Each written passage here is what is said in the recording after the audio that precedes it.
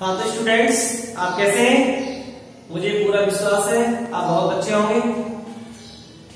तो देखिए, आज हम क्लास एट में फ़र्स्ट चैप्टर में टॉपिक है रेशनल नंबर तो हम रेशनल नंबर्स के बारे में आज समझेंगे। तो सबसे पहले हम समझेंगे कि what is rational numbers rational number होता क्या है? a number which can be written in the form of PYQ किसी भी नंबर को P अपॉन Q के फॉर्म में लिख दिया जाए उसे हम रेशनल नंबर कहते हैं इसमें एक कंडीशन होती है Q not equal to zero Q is always not equal to zero and P may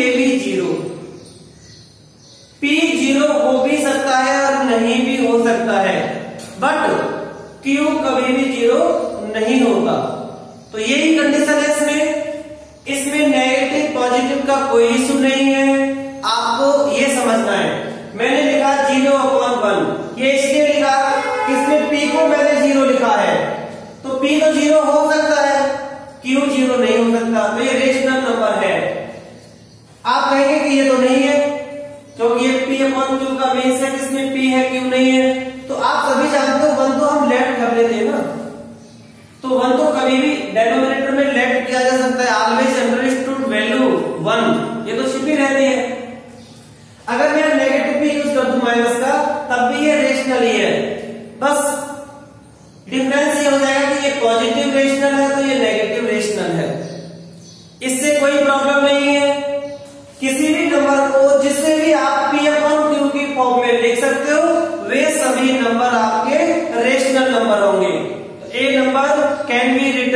form of P upon Q.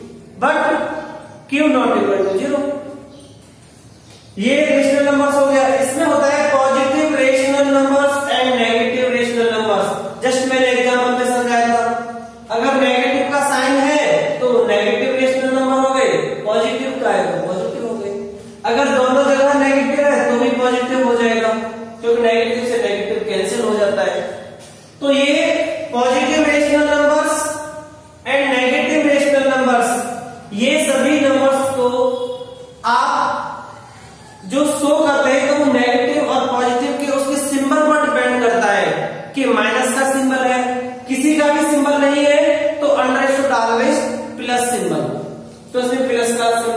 principale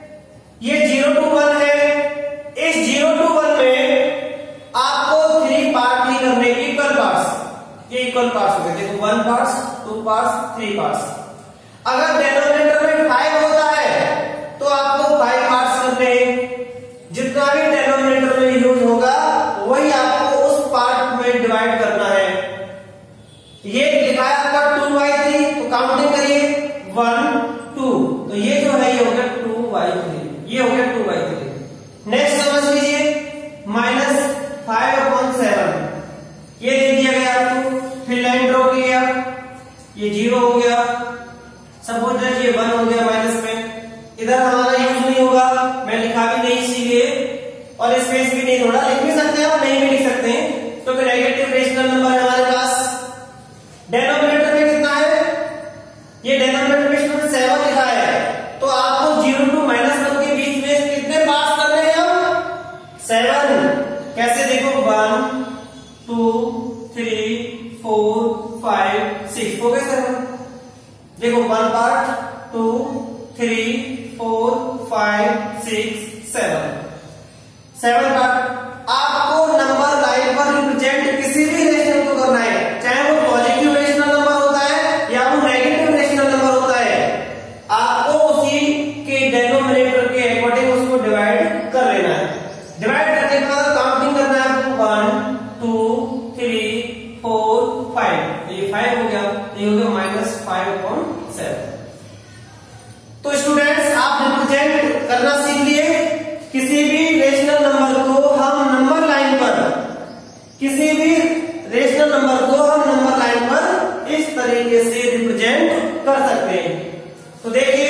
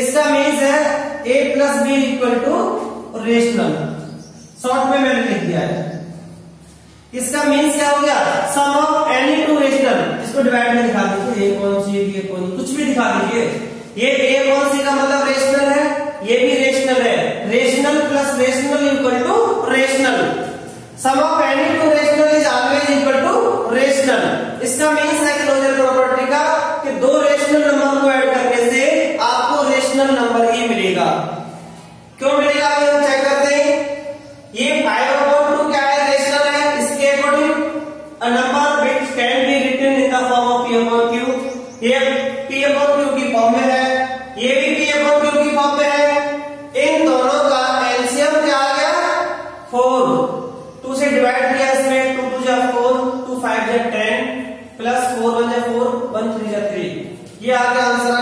thirteen by four देखो, ये भी रेशनल था, ये भी रेशनल था और ये भी रेशनल आ गया। तो rational plus rational equal to always rational होता है। इसे हम क्लोजर प्रॉपर्टी कहते हैं। इसके बाद, इसे देखिए कम्यूटेटिव प्रॉपर्टी इसका मीन्स है रेशनल शब्द R one and R two equal to हो जाएगा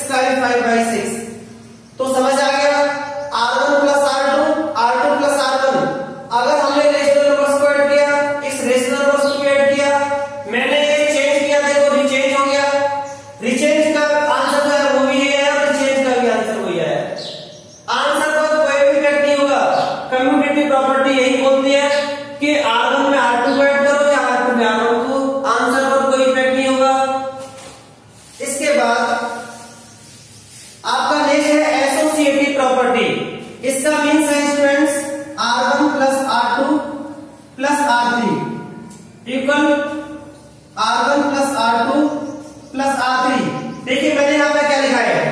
मैंने यहाँ पर थ्री रेशनल नंबर्स लिखा है।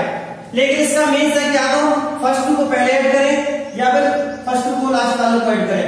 आंसर पर कोई इफ़ेक्ट नहीं होगा। अगर आप पहले दो रेशनल नंबर को ऐड करेंगे, उसके बाद इसको ऐड करेंगे, या इसमें इनको ऐड करेंगे, उसके बाद इसको ऐड करेंगे तब भी आंसर वही रहेगा। इसे बोलेंगे एसोसिएटिव प्रॉपर्टी ये भी समझ लीजिए। One by two, one by three, one by four. ये कोई नंबर है। R one, R two, R three, ये थ्री रेशनल नंबर है। यहाँ पर ये थ्री रेशनल नंबर लिखे हुए हैं। मैंने पहले इनको ऐड किया। वन बाई टू को वन बाई थ्री को ऐड किया। एलसीएम सिक्स टू थ्री जा सिक्स थ्री टू जा six and plus one by four five by six plus one by four LCM again twelve six two जा twelve two five जा ten four three जा twelve three and thirteen by twelve अब इसको देखो same नहीं किए देखो, मैंने दोबारा से इसे लिख दिया। ये one by two one by three one by four को लिखा, लेकिन अब मैं इसे ऐड करूँगा पहले। तो one by two is and LCM of three and four twelve four one जा फोर एंड थ्री वन जा three and one by two plus four three seven by twelve then again LCM twelve two six या twelve plus seven and thirteen by twelve आप देखिए, मैंने लिखा था associative property का means था कि यदि हम आर वन में आर टू ऐड करें मतलब firstly sum of first rational number and after that add third rational number यहाँ पर लास्ट टू रेशनल नंबर को ऐड करते हैं। उसके बाद इसको ऐड कर दें। देखिए, वही काम मैंने किया। पहले दोनों नंबर को ऐड किया। उसके बाद तीसरे रेशनल नंबर को ऐड किया। यहाँ पर पहले लास्ट वालों को, उसके बाद फ़र्स्ट वाले को। लेकिन आंसर क्या है? आंसर का तो कोई इफ़ेक्ट नहीं है। ये एसोसिएटिव प्रॉपर्टी है। तो आप एसोसिएटिव प्रॉपर्टी समझ गए? इसके बाद देखिए नेक्स्ट एडिटिव आइडेंटिटी इसका मीन्स है students R one plus zero या आपका हो सकता है zero plus R one equal to always R one अगर आप किसी भी रेशनल नंबर में ज़ीरो को ऐड करते हो when the add of any rational number to zero then always equal to rational number itself आपको वही रेशनल नंबर मिल जाएगा जिसको भी ऐड करना है जैसे one by three rational number है इसमें ज़ीरो ऐड किया तो आंसर भी वन बाई थ्री ही आएगा। ज़ीरो है वन बाई थ्री ऐड किया वन बाई थ्री ही आएगा। आपका वही रेशनल नंबर आपको मिलेगा। ज़ीरो से कोई भी इफ़ेक्ट नहीं आएगा। इसे हम एडिटिव आइडेंटिटी बोलते हैं। इसके बाद है एडिटिव इनवर्स इसका means students R one plus minus R one equal to zero इसका मीन्स हो गया कि sum of any two rational number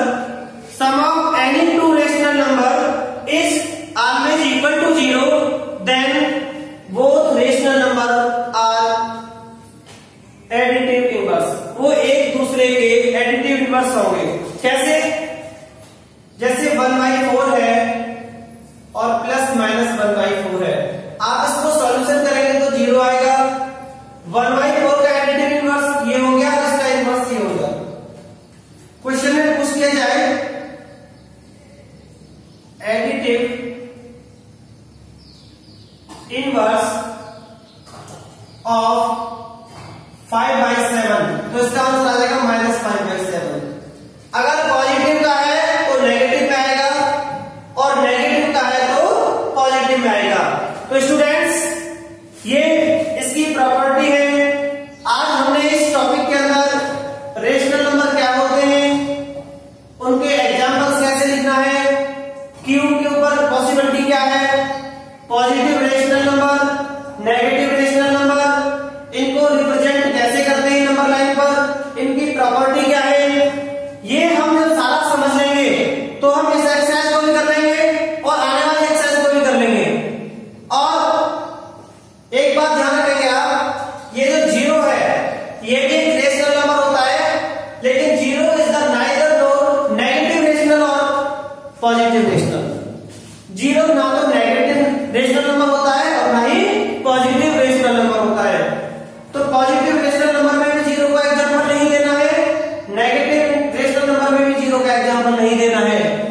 zero is a hero